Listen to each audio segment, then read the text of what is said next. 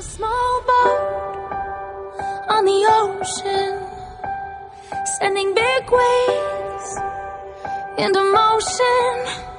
Like how a single word can make a heart open. I might only have one match, but I can make an explosion. This is my fight